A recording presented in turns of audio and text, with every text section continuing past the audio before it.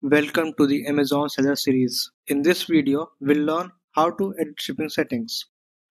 Click on the settings icon on the top right corner. Select shipping settings.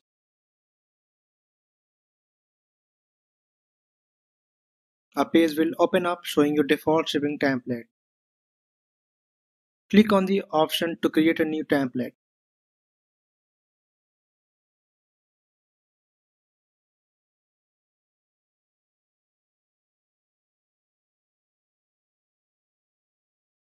Write the name of your new template.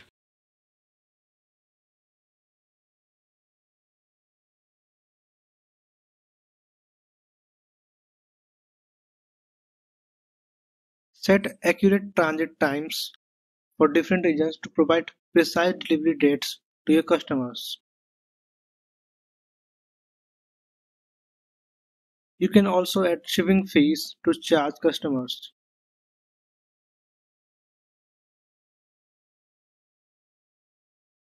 Scroll down to the Expedited Delivery section. Enable this option if you want to offer faster delivery dates to your customers. You can edit the transit times and shipping fees for expedited delivery. Review these additional faster delivery options available. Enable these if you wish to offer these services. After editing all the settings, click Save. Your new shipping template will be created. If you want to make a template as default, Note: Changes to the default template apply only to new listings or SKUs.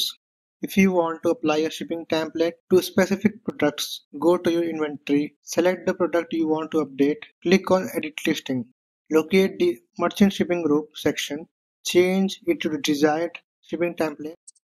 Thank you for watching. In the next video, we will cover how to add products manually.